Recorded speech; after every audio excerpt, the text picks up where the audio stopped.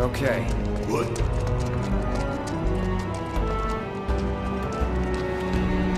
This is summoning material. Wow. What kind of badass will pop out of this?